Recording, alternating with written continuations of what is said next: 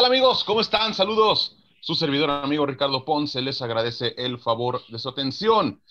El día de hoy tenemos un video, digo ya, lo prometido es deuda. Les habíamos dicho que tenemos una colaboración con un canal hermano, un muy buen amigo aquí de, de Racing Team. Estamos platicando cuestiones de la temporada y los temas más, más candentes, pero ojo con esto. Esta es la primera parte de este video. La segunda parte se podrá ir con mi amigo, que ahorita voy a presentar, para ver la segunda parte de este, de este video.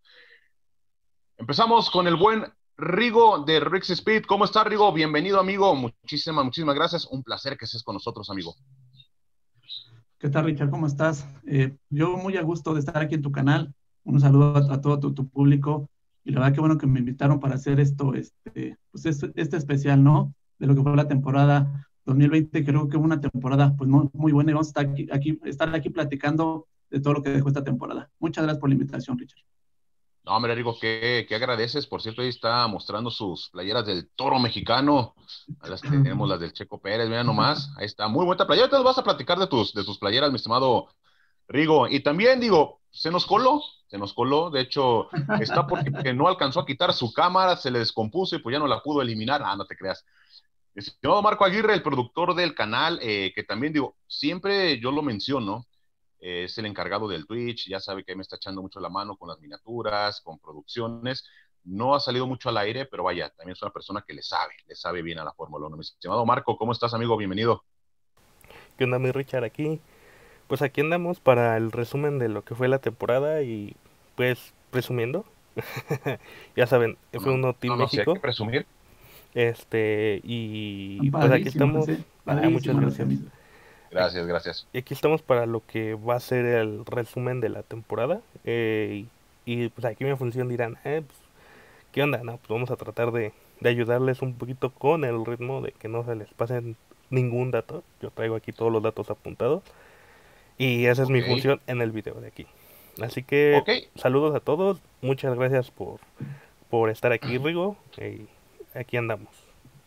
Pues muchísimas gracias, mi señor Marco y Rigo. Y vaya, no hay video, sino su tradicional intro. Así es que, vámonos, bienvenidos.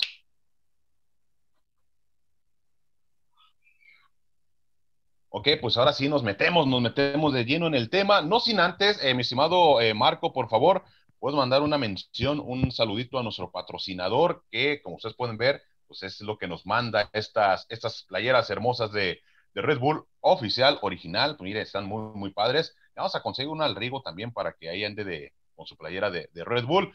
Cortesía de quién, mi estimado. De F1 Team México, ahí el buen señor Francisco les estará dando un buen precio. Justamente el precio que nos dio a nosotros, a nosotros nos dio precio ya que yo soy su cliente desde hace seis años. Y igual Jack Beck López es de 17 años su cliente, entonces es el mejor proveedor que hay en el país. Y en cuanto a precios es lo mejor. Cuando ahorita el boom de Red Bull, todos se fueron para los cielos, subieron sus precios mucho, él los está manteniendo. Y él, sean clientes nuevos, sean clientes acá, les va a dar buen precio, pero si dicen que van de parte de Racing Team, todavía les va a dar mejor precio. Y envía a todo el país. Y creo que a todo el universo.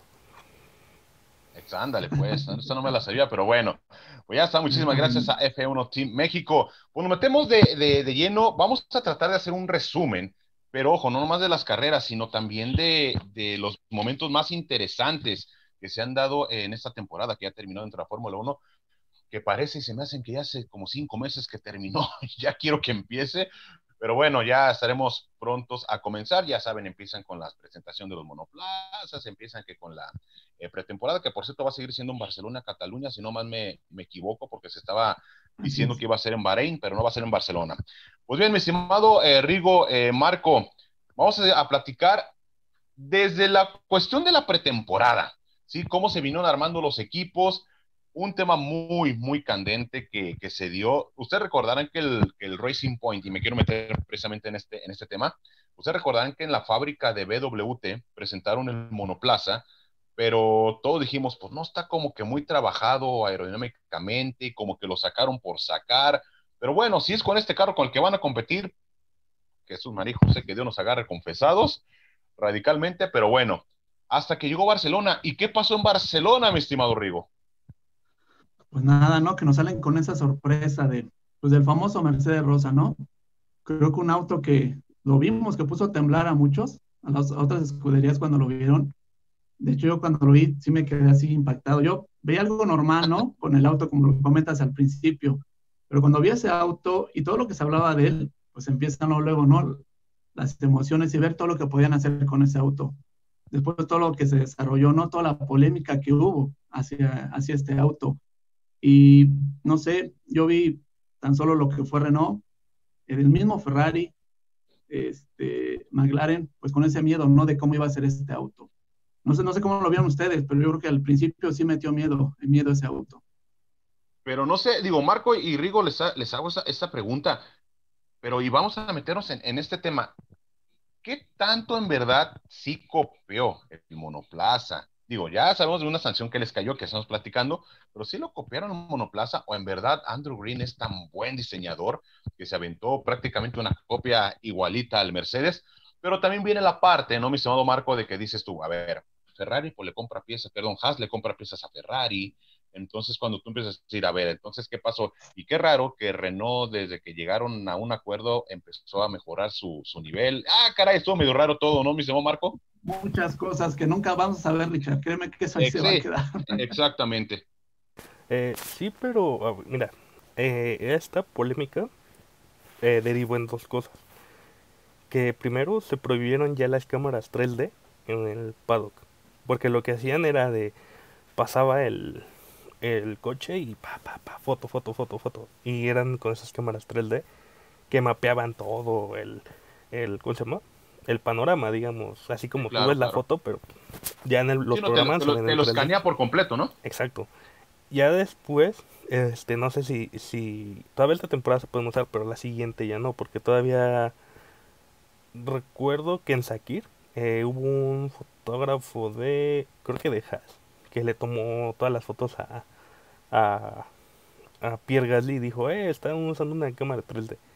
Y le dijo, ah, no, este, de todos modos el coche de la próxima temporada va a cambiar. Entonces, digamos, esas cámaras van a estar prohibidas a partir del siguiente año. Ya no se va a poder hacer, pero con el sistema de tokens ya se van a poder comprar piezas que no se podían comprar. Y sin, eh, sin gastar tokens.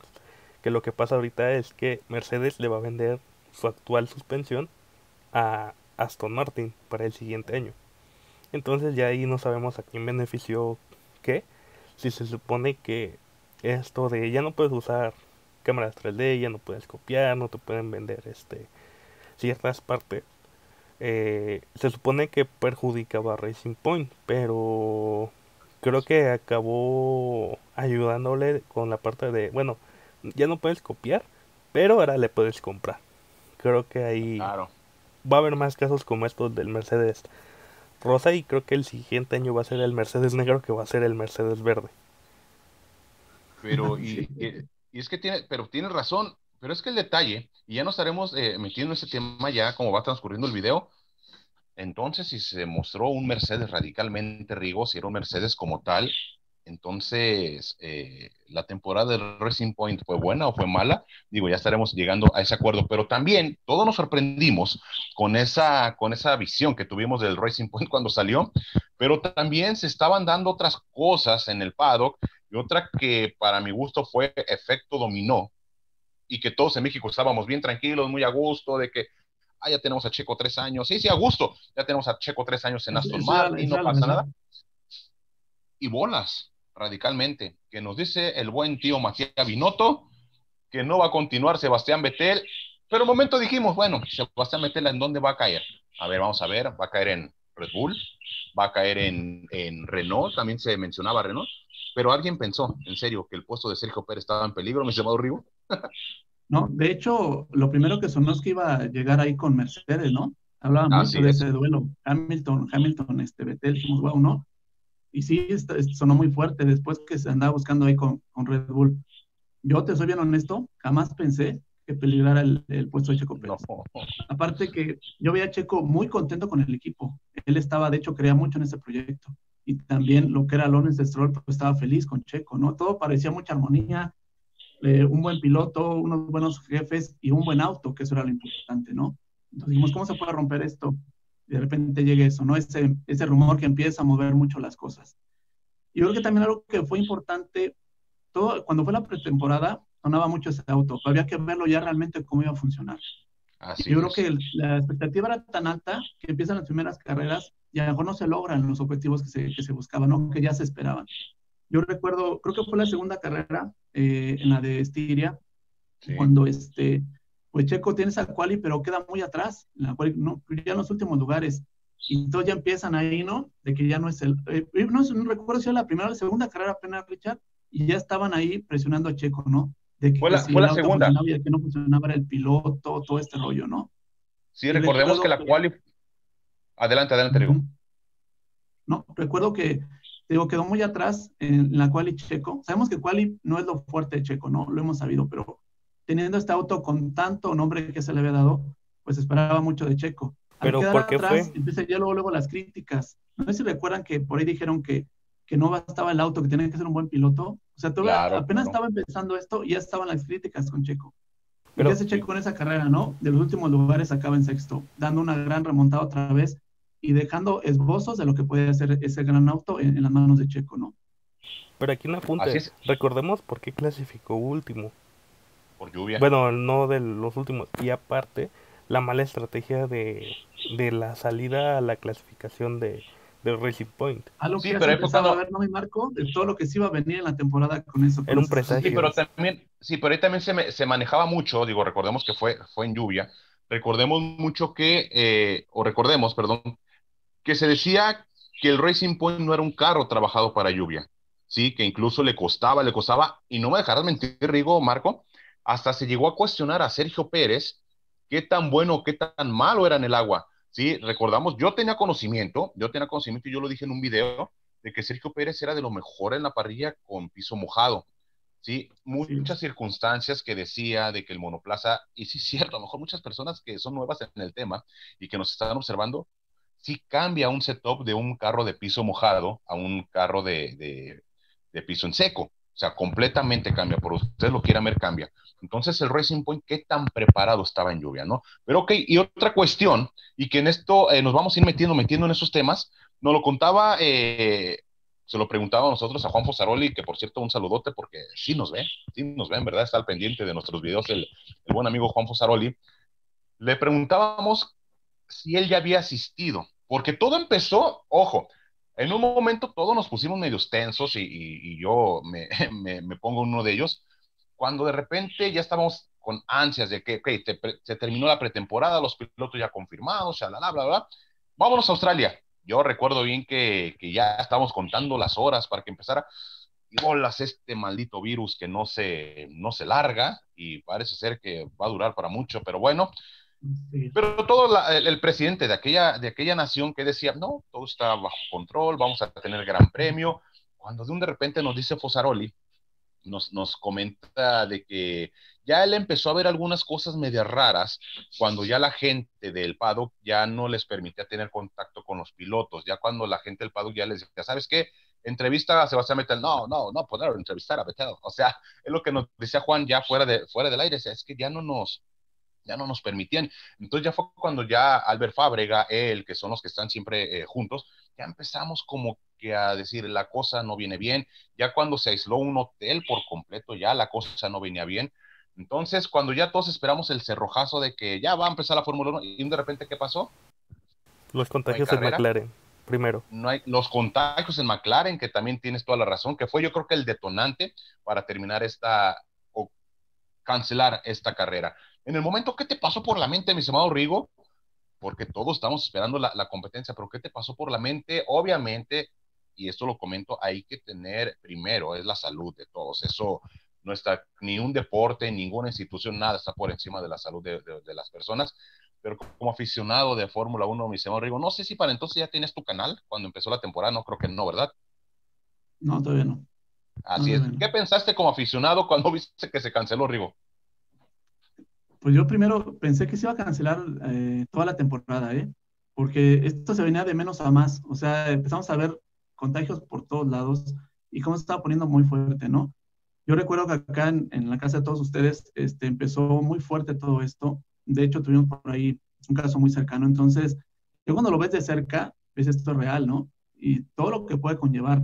Yo al principio sí pensé que se iba a cancelar completamente la Fórmula 1, pero no sé ustedes, yo creo que esta, este virus vino a dar, yo creo que una de las mejores temporadas de Fórmula 1 que se van a recordar. ¿Por qué? Porque fue completamente atípica, fueron cosas que nadie tenía planeadas, que creo que fue lo, principal. Y vamos a llegar a no grandes carreras que hubo con los circuitos nuevos, pero yo creo que fue el condimento, o sea, no, nunca nos hubiera gustado, ¿no? Que, que, fuera de este, de este tipo, un virus que nos fuera a mover todo, pero creo que fue el que detonó una de las mejores temporadas de, de la Fórmula 1. Y en ese, en ese sentido, Marco, hay que hay que darle las gracias y la verdad, porque muchas ocasiones les hemos pegado y con justa razón, les hemos pegado a Liberty Media. Eh, y la verdad nos entregaron una temporada bastante, bastante decente. Hace poco en un directo me preguntaban qué temporada de Fórmula 1 recuerdo más desde que tengo uso de razón. Hace poco, bueno, desde que tengo uso de razón, ¿cuál temporada recuerdo más? Yo les dije que esta. O sea, por todos los, los, los condimentos que nos dio, victorias de pilotos que no habían ganado, podiums eh, nuevos, el accidente fatal de... No fatal, pues. O sea, es lo que, exacto, grandes carreras. es lo que adolecía mucho las temporadas pasadas, ¿no? Carreras realmente de, de, contacto, de, veíamos acciones de Fórmula 1, vimos acciones de Fórmula 1 el trágico accidente de, de, Román Grosjean, que gracias a Dios, gracias a Dios en verdad pudo salir.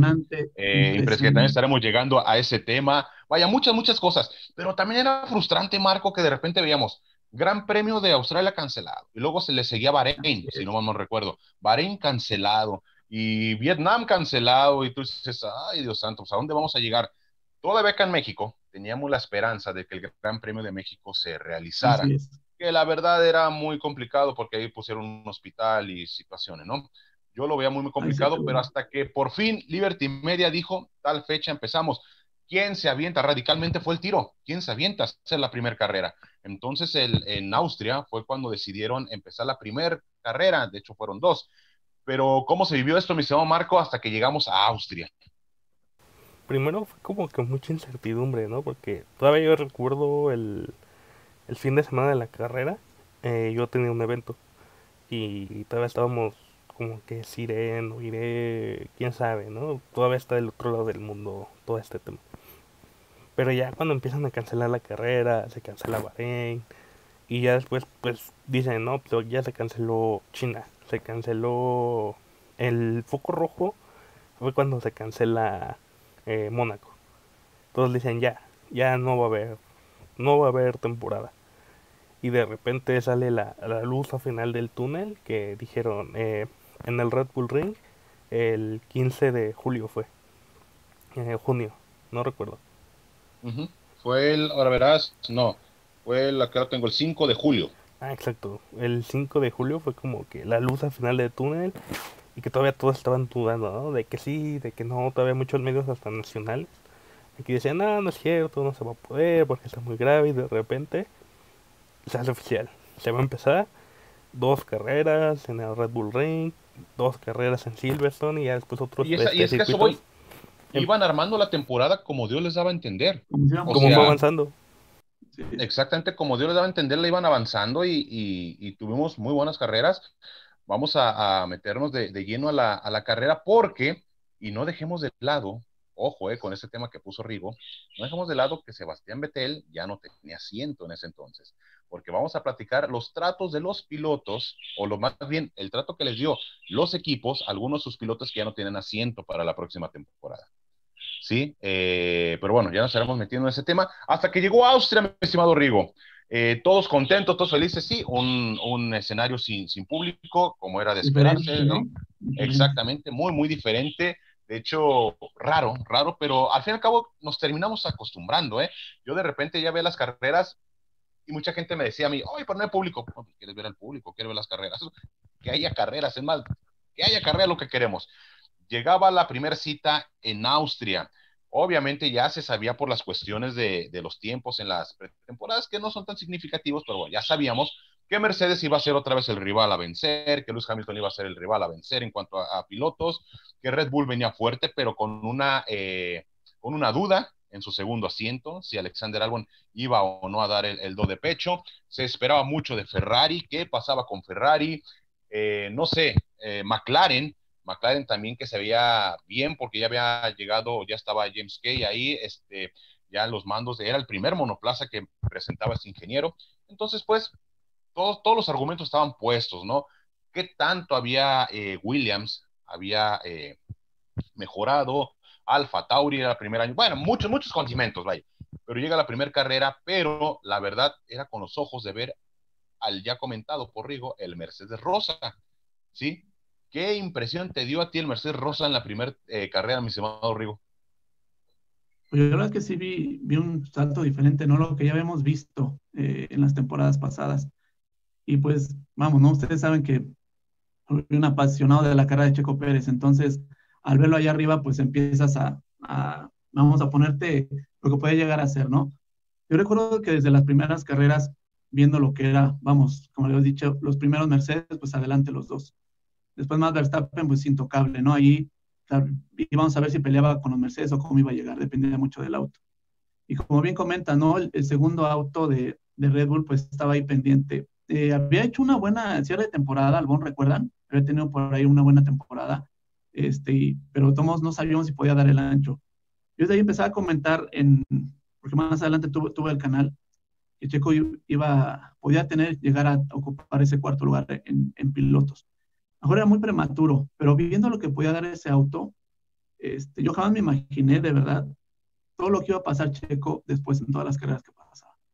Jamás me imaginar eh, que Checo iba a salir el equipo le iba a meter tanto el pie a Checo, ahorita lo vamos a platicar bien todo lo que, porque para mí eso quedó claro, que en un momento le metieron el pie, y todo como se iba metiendo. Hablas de los otros este, eh, equipos. A mí me llamaba mucho la atención el ver a Ferrari, cómo había cerrado Leclerc la temporada pasada. Yo pensé que iba a ser el boom Ferrari con, con Leclerc. No sabía hasta dónde iba a llegar Vettel ya cuando pues, ya no estaba confirmado que iba a seguir con el equipo. Jamás me imaginé el trato que le iban a dar yo siento que no fue un trato digno para, para un cuatro veces campeón del mundo, ni creo que ni para un piloto que le dieron por parte de, de Ferrari. Y en cuanto a McLaren, yo creo que el que hizo el cambio ahí, no sé si qué opinan ustedes, fue de la llegada de Zach Brown. Yo creo que él cambió como que toda la, no sé si la mística del, del, del, equipo, como que le dio una tranquilidad, como que empezaron a acomodarse las cosas primero de adentro hacia afuera, como que empezaron a tomar el factor humano. Creo que eso fue muy importante creo que fue la clave para que este, McLaren empezara a cambiar. Ya venía un franco ascenso. Creo que esta temporada todavía creció un poquito más. Sí, así es, lo que comentas de, Zach Brown, tienes toda la razón, mi estimado eh, Rigo, ya platicamos también, porque se hizo de gente eh, talentosa, se hizo de gente talentosa como Andrés Seiden también, como eh, James Key, que también ya lo comentábamos, un gran diseñador de autos que estaba en Toro Rosso, eh, pero vaya, le dieron libertad de trabajar. Obviamente tú sabes que en todo Rosso no te dan toda la libertad, porque no puedes hacer un monoplaza que supere al, al, carro mayor. Exactamente, entonces, ok, te dejamos y te damos un presupuesto para que puedas desarrollar tu auto, pero no se te vaya a ir de más, porque ahí está Adrian Newey, que es el, el padre de todo eso, ¿no? Pero muy buena temporada de McLaren. Yo, en verdad, sí esperaba que estuviera peleando con Racing Point, pero no al grado de que le ganara el tercer lugar del campeonato, eh, la verdad, yo no, no creía, pero a lo que argumentas de sobre Sebastián Vettel, de que ya se salía de, de Ferrari, mira, a Sebastián Vettel, desgraciadamente, y, y nos comentaban también en, en, una, una, colaboración, eh, desgraciadamente sí sufrió el trato, y yo hice un video al respecto, en verdad se merecía ese trato Sebastián Vettel en Ferrari, le dieron el trato de segundo piloto radical, fue un trato de, de, del segundo piloto a Sebastián Vettel, de hecho, mismo decían algunas entrevistas, yo no soy tonto, yo sé que el otro carro rojo no corre igual que el mío, ¿sí? O mi carro no corre igual que el otro, como ustedes lo quieran ver. Entonces, yo creo que esa situación de Ferrari, mi estimado eh, Marco, si deja que desear, porque se jata de ser un equipo importante, ¿no? Pero, digamos, Ferrari siempre ha sido así. Ferrari cuando ya no le interesa un piloto... En eso tiene razón. Prácticamente lo tira a la calle, o sea, en este caso decirle a Sebastián Vettel, te vas a ir, no te vamos a renovar, corres 2020 y ya. Eh, prácticamente ya lo tiraron a la basura. Y fue de, mm, tal vez nos va a importar tu opinión para el desarrollo y acá, pero de ahí en fuera, mira, eh, no contamos contigo. Tienes que correr y todo. Y pero yo creo que donde no cuadra, la exigencia de que de repente le metieron a Vettel fue cuando o como lo quemaron en los medios de repente diciendo es que no, no entendemos por qué un piloto de repente hace una gran carrera y termina adelante y un piloto se está peleando con los Williams, con los Haas, con los Alfa. No cuadraba. Ajá, exacto, ellos le tiraban a Vettel, pero creo que también había que estar conscientes de que es la peor temporada en su historia de Ferrari. Pero a mediano plazo, Rigo, digo, no me voy más atrás, porque si hay una escudería que siempre ha, ha predominado sus, y lo deja claro, su piloto 1 y 2, ese es Ferrari. Ese siempre ha sido Ferrari. A corto plazo, ¿qué pasó con Eddie Irvine? ¿De quién era la sombra Eddie Irvine? ¿Sí? ¿Qué pasó con Rubens Barrichello? ¿De quién era la sombra también Rubens Barrichello? ¿Qué pasó con Felipe Massa? ¿De quién era la sombra? ¿Qué pasó con Kimi Raikkonen? Aunque fue, ojo con Kimi, que ha sido el último campeón que ha tenido la, la escudería, pero siempre dio un trato de segundo piloto a Kimi, ¿sí? Entonces, digo, le tocó a Sebastián, pero a Sebastián, ahora hay que ver qué tan bueno fue el paso de Sebastián Vettel por Ferrari, ¿eh? O no sé qué piensa Rigo. Es que, es que ahí va la otra, ¿no? Yo creo que Leclerc, siento que se ganó a pulso el ser el piloto número uno ¿eh? de Ferrari. Yo creo que, de hecho, Ferrari le dio muchas oportunidades a Sebastián Vettel. ¿Qué te gusta? Tres años que estaba a tope y de hecho, ¿cuántas veces tuvo que ya sea frenar Kimi para que pasara a Betel o viceversa, ¿no? Pero siempre Betel tenía la mano. Ahora le tocó estar en el otro lado de la moneda, ¿no? Ahora es el segundo piloto. Eh, yo no le quito nada a Leclerc, creo que se lo ganó al 100%, a pulso se ganó ser el piloto número uno, pero a mí lo que sí me deja un poco es, mm, vamos, yo creo que puede ser piloto número dos, pero yo creo que la dignidad, creo que hasta se, llegó a tocar, ¿no? De Sebastián Vettel. Eh, yo creo que a veces como los, lo que comentaban el, el, mismo equipo, ¿no? Que ya estaba completamente apartado del, del siguiente este, desarrollo. Eso lo sabemos que lo hacen los pilotos para proteger sus datos, ¿no? Del coche que viene. Yo creo que las formas, yo creo que no fueron las correctas a mi punto de vista con, con Sebastián Vettel, el trato que le dieron. Dejemos de lado los cuatro campeonatos, ¿no? Es un, es un piloto, es un ser humano, yo así lo veo. Lo claro, mismo pasó claro. con Checo, con cómo lo hicieron, a diferencia que lo que habíamos comentado de, de McLaren, ¿no? Con Sainz vamos a tocar ese tema un poquito más adelante, pero hablando de lo que es eh, Vettel con Leclerc, yo no le quito ningún mérito a Leclerc, se lo ganó a pulso, pero creo que el trato hacia Sebastián Vettel, que tuvo sus oportunidades y no las aprovechó a mejor al 100%, porque yo creo que Vettel en la temporada 2018 tenía todo para ser campeón en Ferrari, ¿eh? o ser campeón él, con Ferrari. Creo que esa fue su temporada. Cometió errores graves, creo que él fue el que los cometió directamente, entonces ahí también eso a cualquier equipo le puede pesar muchísimo, muchísimo. Es y yo sí, digo, sí. sabes que ya nos cansamos, tienes un año más de contrato con nosotros, pero pues ahí te la vas a llevar y ya estás fuera, ¿no? Y es que tiene razón, digo, Betel ya es un, o, o, o, Betel, porque ya de repente me regañan que no que, la, que se pronuncia diferente, bah, me han dicho de todo, pero bueno, eh, el Sebas, digo, el más Sebas. fácil, ¿no? El Sebas. Eh, digo, es un piloto experimentado, es un piloto, como tú bien dices, Rigo, campeón del mundo, pero no deja de ser un piloto propenso a cometer errores todavía. Sí, un piloto que todavía, eh, recordamos hace dos temporadas, una, dos temporadas donde chocó que iba en Alemania, si no mal me equivoco. Sí, que, iba que liderando. Fue... fue... la pasada. Exactamente. Ahí, ahí perdió el campeonato prácticamente. Ahí perdió el campeonato, mi estimado Rigo, Marco, y ahí perdió la confianza de Ferrari. Así es. Porque ya Ferrari le perdió la confianza completamente a Sebastián, a, a Sebastián Vettel. Entonces, pues, digo, pero tienes toda, toda la razón. El trato, el trato que se le da a los pilotos es que a veces los dueños de los equipos, y coincido contigo, Rigo, como que pierden la noción de que son humanos al fin y al cabo, ¿no? Al fin y al cabo, al fin y al cabo son tus, son tus empleados, pero bueno, hay que, darles el, hay que darles el trato adecuado. Pero bueno, nos seguimos con esa situación que se va a meter y para la gente que nos está viendo, vaya haciendo, vaya haciendo su, su cronología por completo. Porque llegamos a la segunda carrera, recuerde, Sebastián todavía no tiene asiento, ¿eh? Llegamos a la segunda carrera que se realizó, que por cierto en esa carrera, en la primera carrera de, de Austria, eh, Lando Norris obtuvo el tercer lugar ahí. En esa carrera para, digo, para acentuar un poquito, esa carrera Sergio Pérez tuvo la oportunidad de llevarse un podio de triunfadores, pero ahí empezaba ya Racing Point con sus dagas, y ahí empezaba con sus malas estrategias, que le prohibió al piloto mexicano quedar en una buena posición, quedó en sexto lugar, si no me equivoco, ya sabemos quién ganó, eh, Lando Norris se colocó en la tercera posición, y de allá venía McLaren también enseñando que que venía fuerte. Llega la segunda carrera, ya lo comentamos, Sergio Pérez califica mal, se va hasta la zona trasera de la parrilla y viene remontando, remontando, remontando, remontando, hasta que se coloca en la sexta posición. En cierto momento estuvo rodando en los mismos tiempos de los Mercedes, y eso hay que ponerlo en, un buen texto. De hecho, lo dijo eh, Christian Horner, si no mal me equivoco, en ese momento era impresionante el ritmo del, del RP20 porque estaba rodando los tiempos del Mercedes. Entonces, pues ahí se coloca en la sexta posición, eh, tiene el nombramiento del piloto del, del día, y de ahí ya veníamos con una buena seguidilla. Eh, o sea, se esperaba que Sergio Pérez pueda tener una buena temporada, me Rigo. Sí, ahí, como lo comentamos, ¿no? Recibiendo críticas, pero al final, pues respondiendo ahí en la pista. Y, siguiéndonos con, con, las carreras, este Richard ya se asomaba, ¿no? Como que ese, ese fantasma ahí de Sebastián Vettel que nunca pensamos que iba a llegar, ¿no? Y empezaba a sonar, a sonar, y de repente algo que yo creo que empezó a decantar todo también, porque siguió la, la tercera este, carrera y lo fue, fue en Hungría, y pues veíamos, ¿no? Un Checo Pérez que seguía ahí adelante, pero jamás pensé, no sé ustedes amigos, que pasando esa carrera iba de, a, a pasar algo que creo que ha marcado la carrera de Checo Pérez para mal, pero también creo que para bien.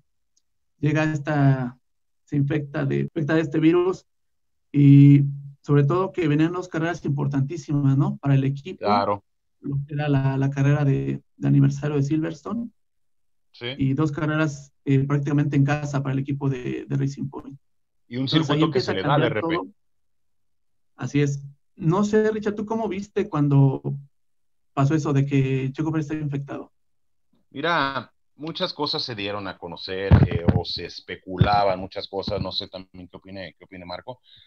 Cuando yo me desperté ese día y observé las noticias, alerta en la Fórmula 1 por posible contagio, digo, tú la primera que te preguntas es de quién es.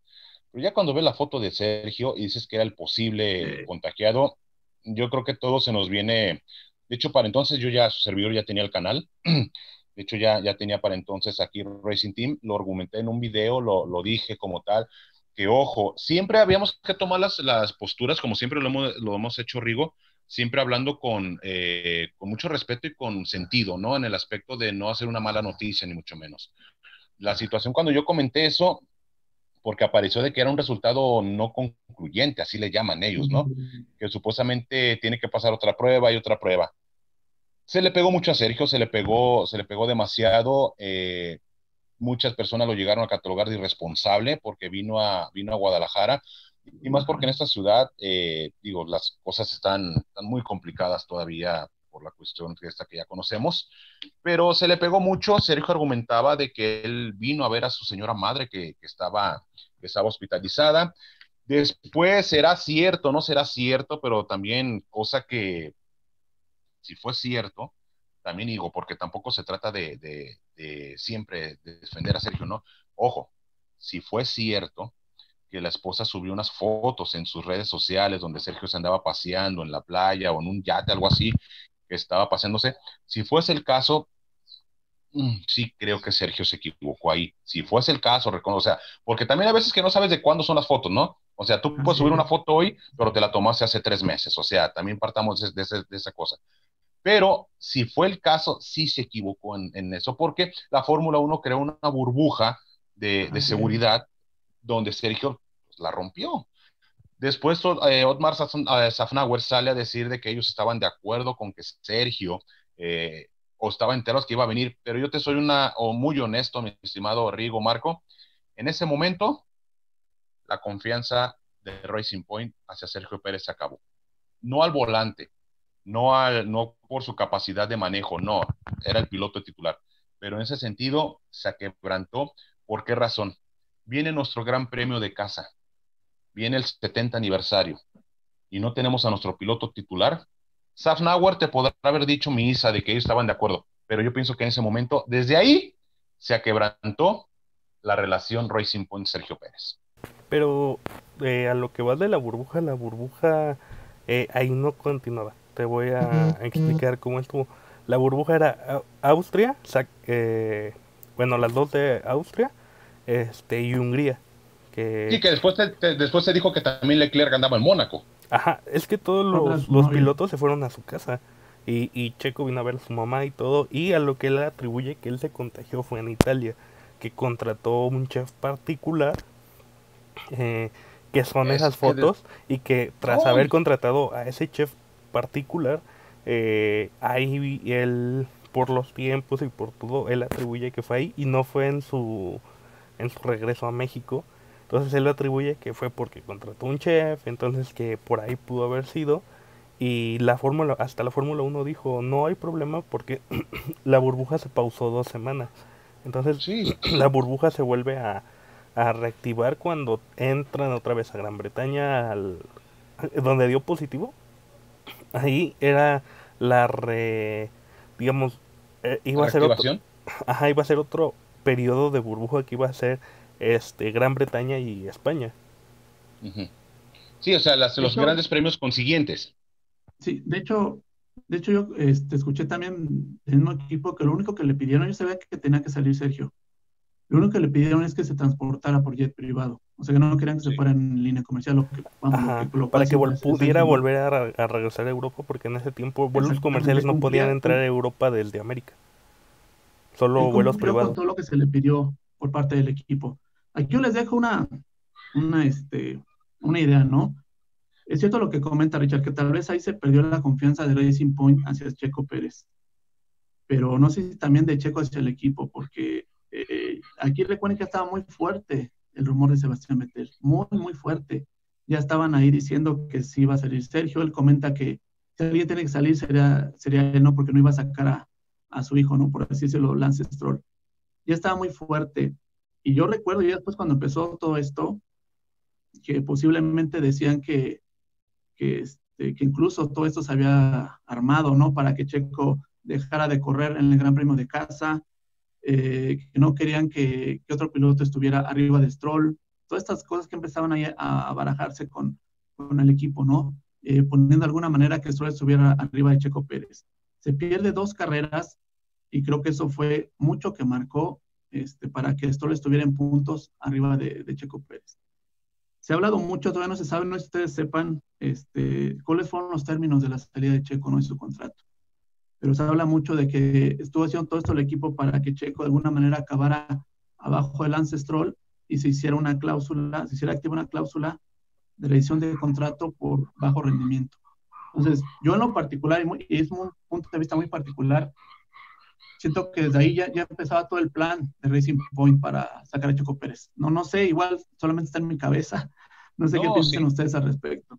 No, y tiene razón, mira, y otra cosa, digo, no hay que ser, eh, tampoco hay que, eh, no se descubre el, hilo negro, ni mucho menos.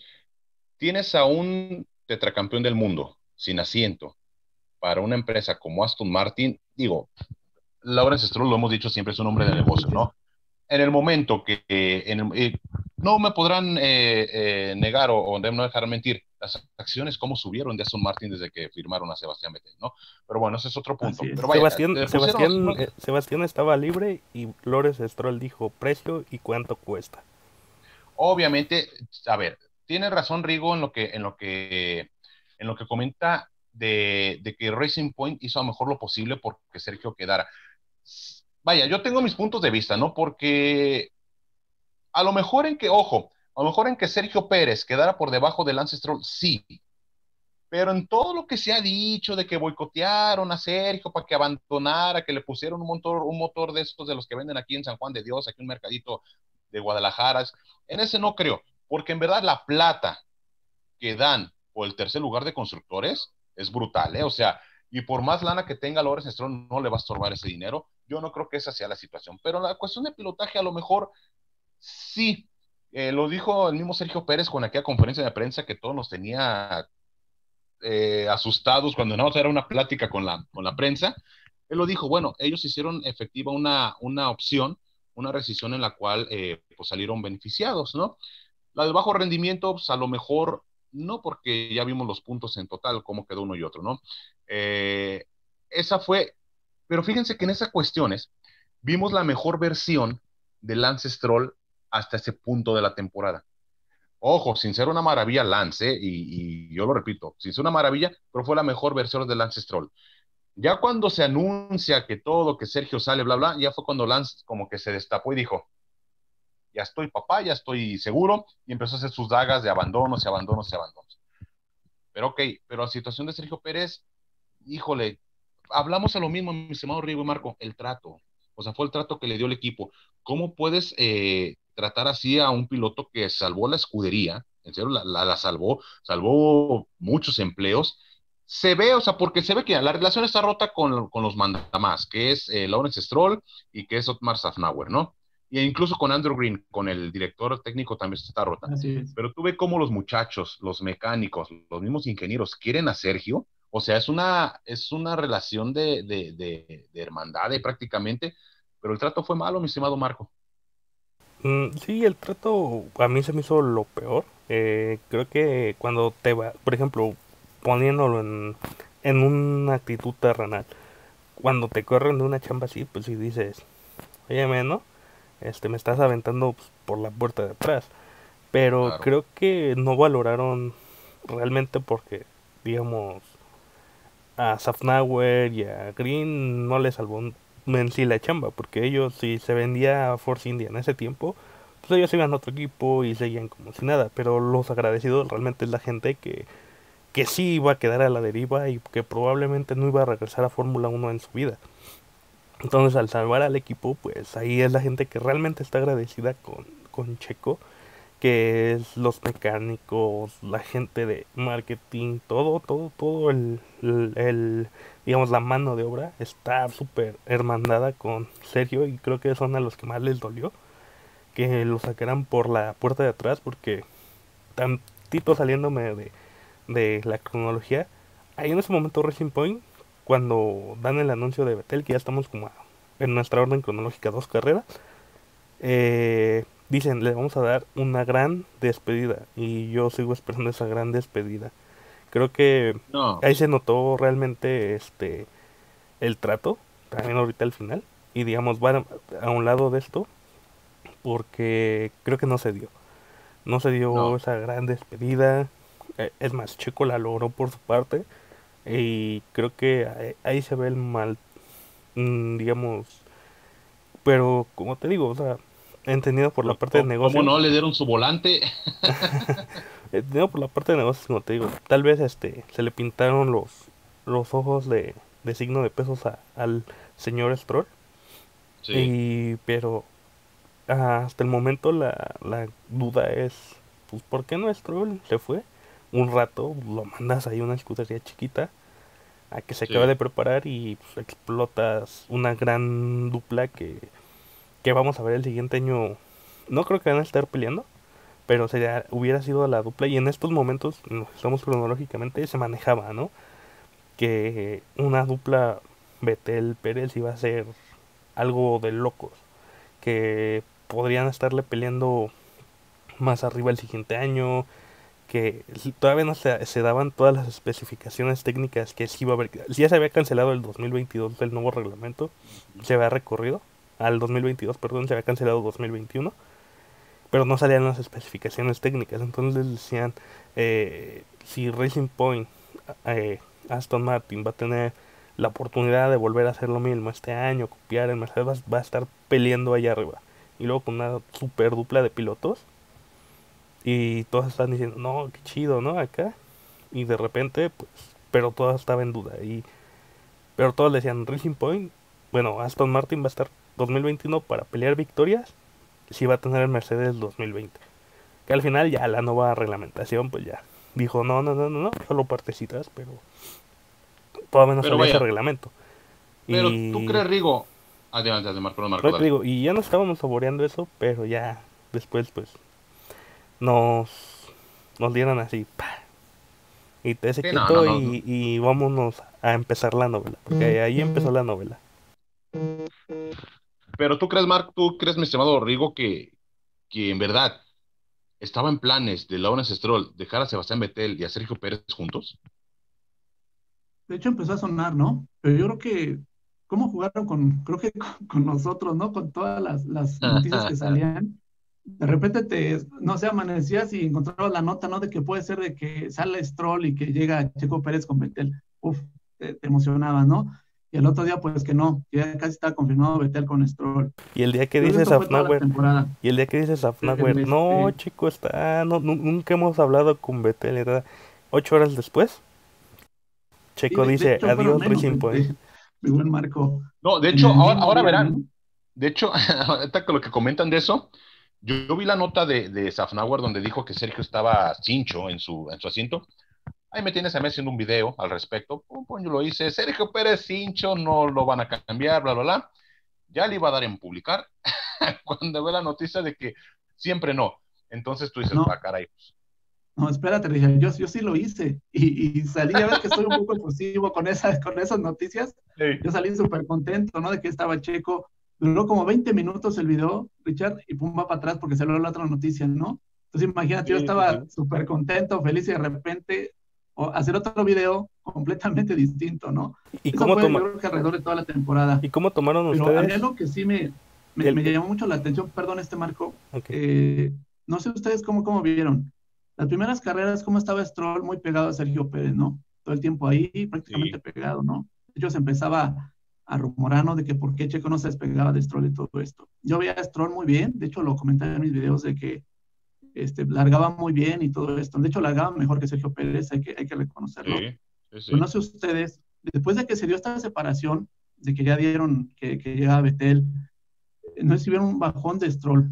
No sé si fue solamente que habían logrado lo que se, lo que se buscaba, o que si realmente Sergio Pérez ya se, decía mucho, ¿no? Que Checo le, le ayudaba mucho a poner el, a, la puesta a punto a, Stroll y que ahora se separó, ¿no? Y de alguna manera, pues no, no encontraba el punto este Lance Stroll, porque fue evidente cómo tuvo ese bajón el Lance.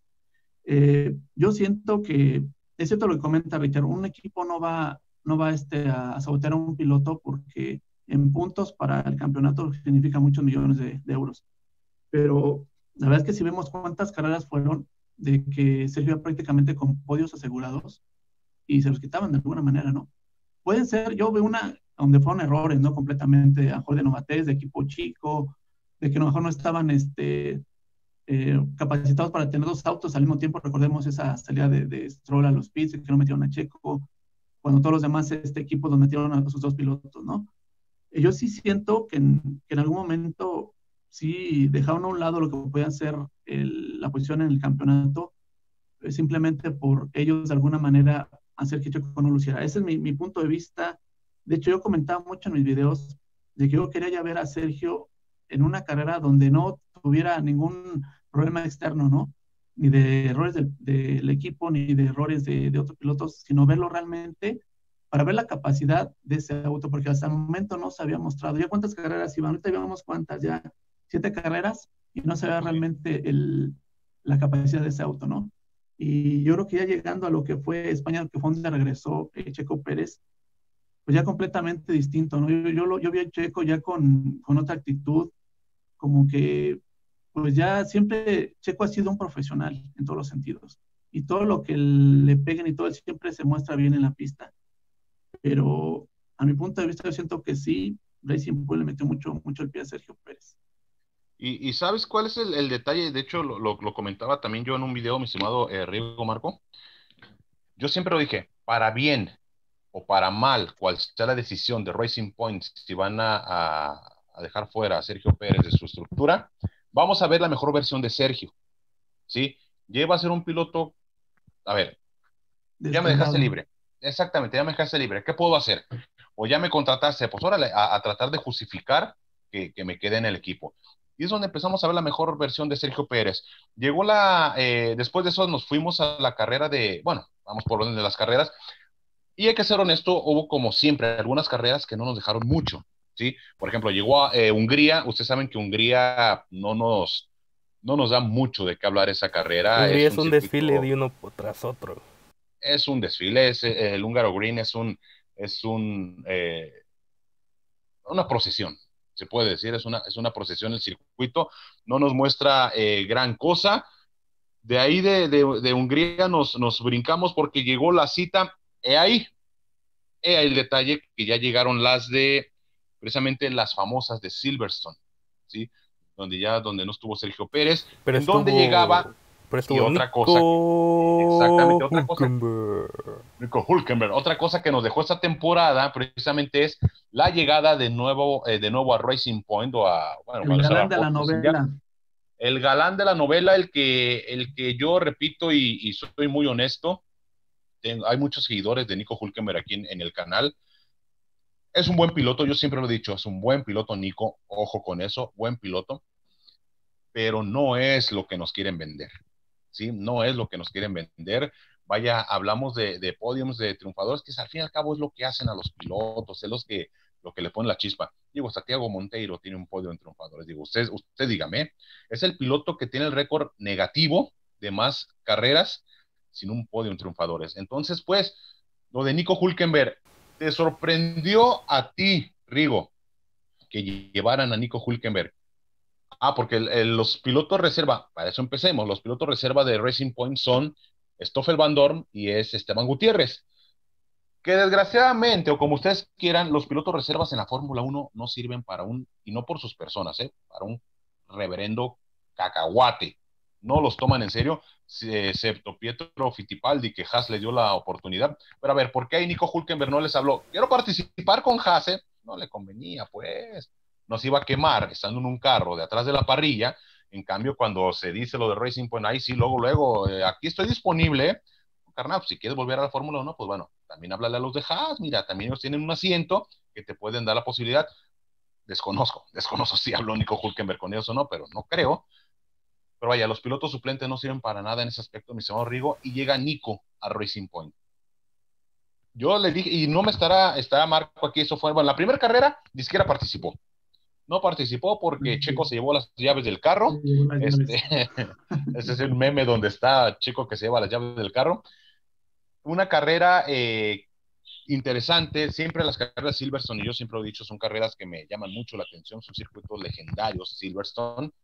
Eh, desde ahí ya Lewis Hamilton empezaba a poner, Lewis Hamilton, que estamos platicando también del siete veces campeón del mundo, empezó a poner ya tierra de por medio contra sus rivales, contra Valtteri Bottas, que hablamos de, de los pilotos reserva, pues no, Valtteri Bottas es piloto, eh, de, piloto titular, pero no da el ancho tampoco Valtteri Bottas, no lo da, pero bueno, ahí Lewis Hamilton ya, Max Verstappen ya venía también con una buena, una buena inercia, ese fue el punto donde ya la, la Fórmula 1 empezó como a, a Pero, pero acordémonos algo de Gran. Bretaña, de la media vuelta en tres llantas que dio Hamilton. Oye, sí es cierto. Ah, así pero como eso le pasa a otro piloto y abandona. Y, y así Y como, ajá, y si es otro piloto, le dicen que es este, que se está manteniendo inseguramente en pista y Sí, lo sí, sí. sancionan, ¿no? Pero pues, como era Hamilton, iba en primero, este, pero también hay, como dices, los pilotos en reserva, ¿para qué están? Pues están por cumplir el reglamento y así como Valtteri Bottas está para cumplir el reglamento que haya un segundo piloto. o sea, Claro, los, claro. los pilotos en reserva existen porque por reglamento tienes que inscribir a dos. Pero por reglamento nada más. Sí, porque ni los usan. Sí, porque eh, recordemos que Valtteri Bottas pues empezó ganando la, la temporada, ¿no? Empezó ganando este, una Sí. carrera por Ajá, aquí, en Austria. entonces ahí como que dices, bueno, ¿no? Pero hasta, vamos, hasta todos decíamos, que ya viene Valtteri Bottas, y no. lo seguimos esperando hasta el final y no sé hasta cuántas temporadas, ¿no? Creo que nunca, creo que no. nunca llegó, lo, lo vocearon como en el Estadio Azteca. Al niño, Valtteri Bottas, se le sigue buscando en la temporada Fórmula 1 Sí, y nunca llegó. No se aparecido encuentra. Sí, no, y, y ya es este- un tema. Adelante, arriba, adelante. Sí, y volviendo con el tema de, de Nico Hulkenberg, este, vamos, yo igual, ¿eh? Para mí es un gran piloto Nico Hulkenberg. Creo que es uno de los que ha estado un poco más en, en su momento a la. ¿Se cortó, amigos? ¿Sí, verdad? No, estamos, estamos. Nada más que bajó un poquito el volumen, pero estamos. Pues bien, está, ahí está.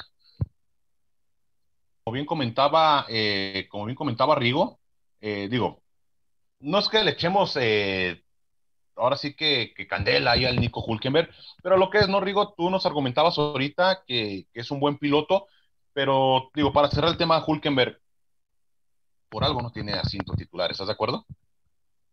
Sí, yo creo que más que nada fue de donde estaban agarrando los europeos, ¿no? Para poner por ahí este, alguien, algún trincante a Checo, ¿no? Pero simple y sencillamente, pues, ocho podios a cero, ya son diez, ¿no? Diez a cero, pues ya no hay ni, qué hacer, ¿no? Con Nico, que repito, un gran piloto. Nico, alias el podio. así es, y aparte una carrera ganada, ¿no? Más le echamos. Bien arriba. No, y de amigos, eh, pues no sé, llegamos a una de las carreras, yo creo que, no sé, a mí en lo particular es el circuito con lo que es Spa, ¿no? Esa mítica curva de, de. No sé ustedes, pero creo que se esperaba mucho del equipo de Racing Point en esa pista, ¿no? Una pista rápida, recordemos que era, era su fuerte lo que era antes de Racing Point, y pues llega esa carrera que no fue lo que esperábamos nosotros, ¿no? Para mí fue una de las primeras grandes decepciones que, que había, este, por lo que se esperaba, ¿no? De esa pista eh, con Sergio Pérez es donde empiezan esos, ¿no? Con los, con los podios que se pierden, con las entradas a pits. Ahí pasó Checo, ¿no? De estar peleando, recordemos bien, por un podio, a estar peleando por... Sí, no fue. No sé, me dio mucho ¿no? De, de, lo de los equipos. No sé cómo lo vivieron ustedes. Sí, no fue la mejor carrera para, para Racing Point. ¿Tienes ahí el resultado, Marco, de cómo quedaron en, en, en Spa? Sí. Ok, y ahí Checo llegó en.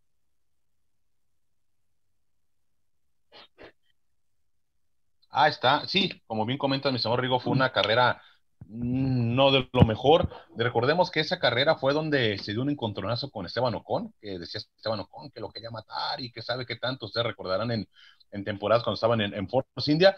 Pero sí, sí esperábamos más de esa, de esa carrera. Coincido contigo, mi señor Rigo, que es para mi gusto el circuito ¿Qué más me gusta? Igual como bien comentas, Rush, después vas a, Radión, luego entras a la recta de Kemmel. No, no, no, es, es espectacular. Te lo sabes de memoria.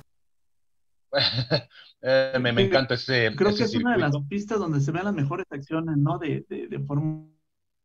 ¿Cómo se y, que tuvo Checo precisamente en Rush, ¿se acuerdan? Que cómo logró controlar el auto y lo que se da al final de esa recta, grandes acciones de Fórmula 1 al llegar al final de, de esa recta. Es que son imagen, recordemos también cuando estaban los dos eh, Force India y que estaban escoltando, ¿no? A, a Mercedes y a, y a, Mercedes estaban los cuatro. ¿no? Estaba Vettel, estaba Hamilton y los dos Force India a la par. Ah, es que eh, lo que da el circuito que tiene grandes rectas. estaba Ocon y estaba Checo, ¿no? Tiene grandes rectas y, y, y algunas rectas no terminan en curva lenta terminan en curva rápida, o sea, o de media velocidad. Entonces es como que te emparejas en la recta y continúas el rebase en la curva este ahí mediana o, rápida y entonces es como que lo que da mucho espectáculo porque entran y fu, y es de quien agarra la línea el que va a sacar el rebase al final. Sí, luego entras en la última, te puedes decir, eh, ya para entrar a la recta principal, que es muy corta, vas a mucha velocidad y, de, y entras a la, a la, curva de ahí de la parada del, del, bus, híjole, es una parada muy, muy lenta, una curva muy lenta, pero vaya, son carreras que quedan, que quedan marcadas en, en esa de, de, Spa. Desgraciadamente, digo, no podemos decir, ahí fue donde falleció Antoine Hoover, sí, este muchacho de la, de la F2, que bueno, eh, desgraciadamente pues ahí perdió, perdió la vida. ¿Por qué? Porque es un circuito muy, muy rápido. De hecho, es de los demás también eh, más largos del, de todo el calendario. Pero bien, ahí está la que fue la carrera en Spa, en Francorchamps. Y ahora nos vamos a... Monza. A Monza. La sorpresa. ¿Recordarás? No, no, no, esa de Monza. La locura. Una locura esa carrera. Como dices, esa fue la carrera. Ya esta fue la carrera donde a Sergio le dijeron, no vas más, no vas más con Racing Point. Ya eh, está anunciado. Dice a Sergio Pérez que se enteró por una llamada telefónica de Lawrence Stroll, que está platicando Beto a saber con quién, pero que Sergio Pérez estaba ahí observando y escuchando, donde dijo que ya no iban a contar con los servicios del piloto mexicano, pero ya en pista, eh, igual también se esperaba un poquitito más del RP20 en esa, en esa carrera. Aquí Lance Stroll quedó en, tercera posición, a lo mejor pueden decir, bueno, esperábamos del RP20, pero Lance quedó en tercero, pero ¿por qué quedó en tercero? Banderas rojas, hubo, bueno, hubo bandera roja, donde dos banderas rojas, donde tuvieron, se tienen que parar la carrera, volver a reiniciar en, en, en arrancada eh, detenida. Lo de Hamilton. lo de Hamilton, la sanción de Hamilton, esto le abrió la puerta a Pierre Gasly, que no tiene la culpa de nada Pierre Gasly, aprovechó porque... No, no tiene, la, no tiene la culpa, pero tuvo un montón de suerte. Mucha suerte, ¿por qué? Porque que para mí es una regla patética que en bandera roja puedas cambiar neumáticos. Oye, les estás regalando una parada de pits prácticamente y fue lo que benefició a, tanto a Pierre Gasly como a Lance Stroll y no tanto Carlos, Sainz. pero Carlos Sainz vino remontando. Carlos Sainz salió como en la sexta posición y vino remontando hasta quedar en la segunda plaza. Pero esa carrera, ¿cómo ves? Y, y mi señor Rigo, al fin y al cabo, independientemente cuál haya sido el, el, el accionar de la carrera, siempre se agradece que haya un nuevo, un nuevo triunfador, ¿no? Así es. Y, yo creo que también ahí, si recuerdan cuando estaban parados todos los autos, no dejaban de enfocar al ancestro, ¿no? Porque era el que supone que iba a salir, de hecho, ahí como, como primer lugar, ¿no? Y que podía ganar la carrera. Al final, pues no lo logra. Eh, ahí él estuvo ahí en ese momento y creo que ganó bien la carrera, porque Galdí yo también siento que es un buen piloto Creo que es un piloto que se rehizo después de que lo sacaron de Red Bull, recuperó la confianza y usted está creo que también en su mejor momento, ¿no? Y yo también estoy de acuerdo en que sean nuevos ganadores de las carreras, ¿no? Ahí vemos la imagen de que igual no se lo creía, ¿no? Cómo se quedó. No sé si vieron que fue la misma sensación que tuvo Checo cuando, cuando ganó la carrera. Los dos se quedan así, pues que no se la creen, ¿no? Bien, muy bien por este piloto que haya ganado y también por Carlos Sainz. Yo creo que también, ahorita vamos a entrar al tema de Carlos Sainz. También yo siento que muy buena que les ¿no?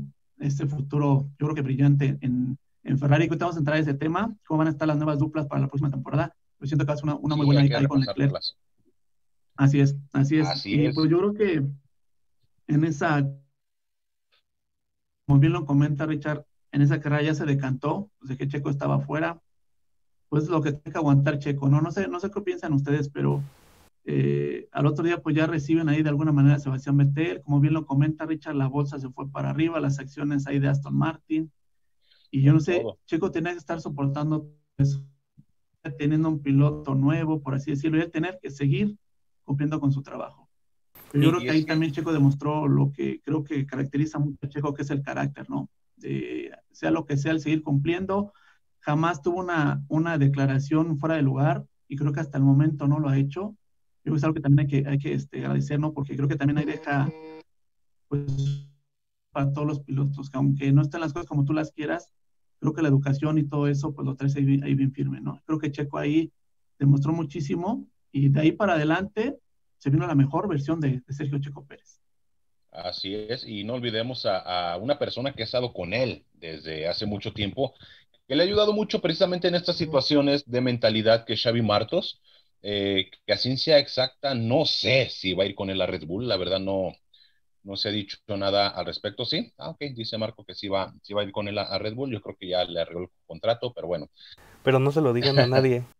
ah, ok, ok.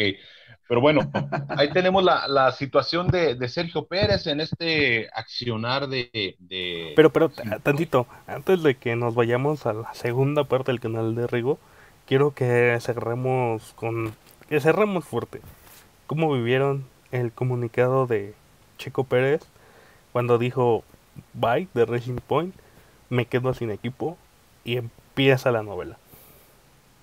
Ok, bueno, mira, eh, lo comentábamos, digo, ya para cerrar, porque por cierto, ahorita vamos a cerrar ya este video, a lo mejor están diciendo, oye Richard, pero faltan un mundo de carreras. Váyase con el señor que tengo aquí cerquita ahí de gafas, eh, que tiene un gran, gran canal también. Váyase con él también porque nuestro cuate, nuestro canal hermano prácticamente, eh, Rex Speed, obviamente vamos a, tratar de, estar en horarios diferentes, obviamente.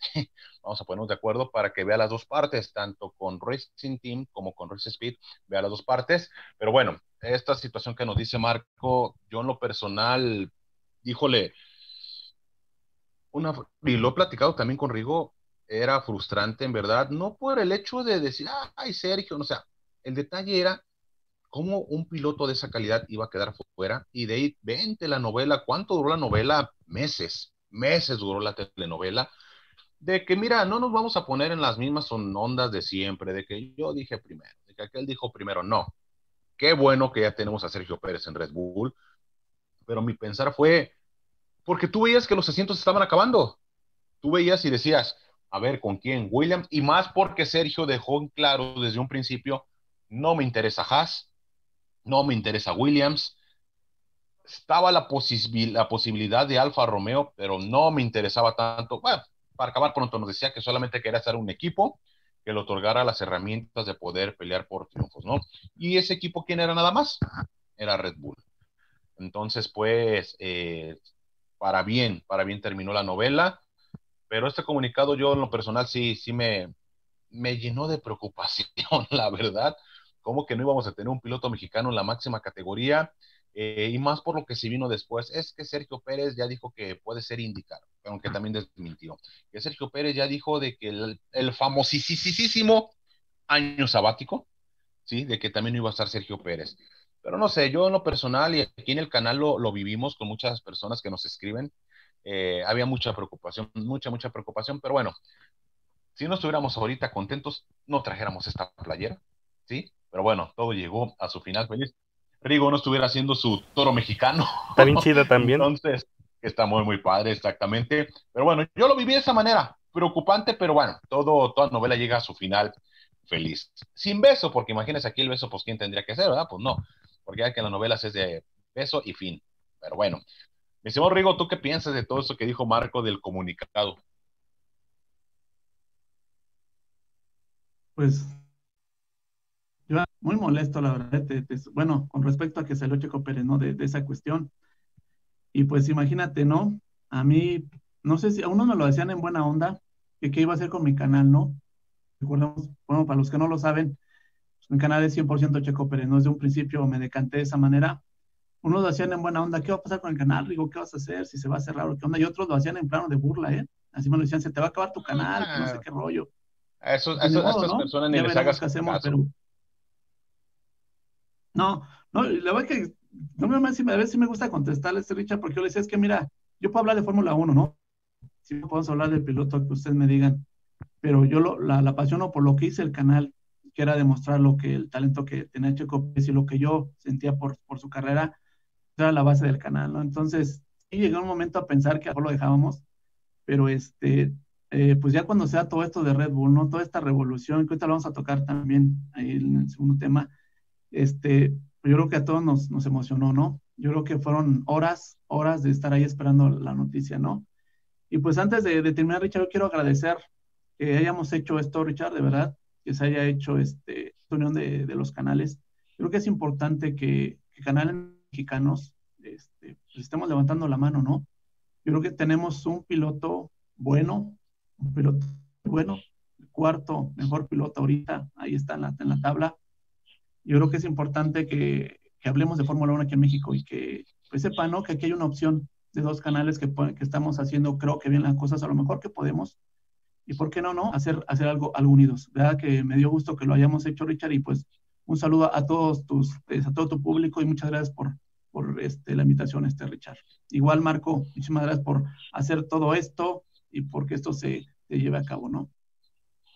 No, hombre, pues qué, qué agradece, mi estimado Rigo, Marco, muchísimas gracias. Digo, bien lo comentas, eh, somos dos canales mexicanos que, que la llevamos, digo, ahí vamos de, de, a poquito, tratando de llegar al gusto de la gente.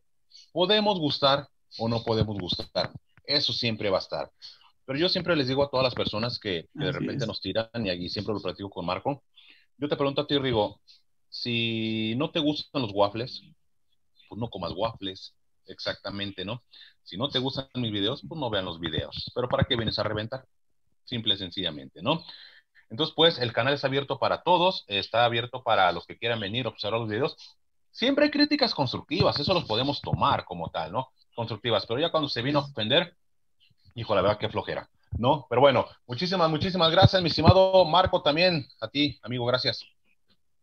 Eh, ah, pues gracias por darme el día de hoy el espacio para estar platicando con, con Rigo, que sabe, sabe y sabe bien. Este, y contigo, que muchas de estas pláticas no se han grabado, pero prácticamente nuestras pláticas luego por teléfono son así parecidas. Eh, cuando estamos sacando temas para el canal o simplemente que estamos platicando qué se viene o, o, deliberar, como vimos, cierto tema para que se estructure el video. Eh, son pláticas así parecidas que no todas las grabamos o así, pero digamos un poquito eh, para que no sientan que lo preparamos, así, simplemente es una plática esto normal de Ricardo conmigo y incluimos hoy a Rigo, muchas gracias otra vez, este, para que digamos Rigo y Ricardo son personas que saben, que saben y, aparte de su opinión como fan, eh, se informan, le echan ganas, buscan información, este, están atentos, se ven todas las carreras, se ven todo el contenido que sea Fórmula 1, lo ven. Y creo que esas pláticas son, son padres porque nos dejan varios puntos de vista y esto es padre, ¿no? Este, contra, contrastar lo que yo pienso, lo que yo sé con sus opiniones, con sus conocimientos y está chido y, y gracias por otra vez por darme chance de seguir saliendo aquí y creo que, aunque al principio me dijiste, sal, sal, creo que poco a poco me voy soltando y, y ahora ya me voy dando el espacio y qué chido. Y qué bueno que se dio ahorita que ya me estoy soltando y no cuando al principio y que se hubiera visto forzado. No, hombre, no, pues qué agradece, mi estimado Marco. A todos, pues no, te preocupes. A todos, a todos, mira, yo, bueno, ustedes lo saben, yo tenía ya un poco de experiencia, pues yo trabajaba en medios de comunicación pero bueno, este, igual, me sigo poniendo frente a la cámara y me sigo, me sigo poniendo nervioso de repente. Pero bueno, vamos mejorando. Muchísimas gracias a todos los que hacen posibles, igual Marco, Rigo, muchísimas gracias, a mi esposa también que me da mucho en la, producción. No se les olvide que escucharla y observar la segunda parte de este video en el canal Rich Speed. Muchísimas gracias. Su servidor amigo Ricardo Ponce les agradece el favor de su atención. Con esto llegamos a la bandera de cuadros. Esto fue Racing Team.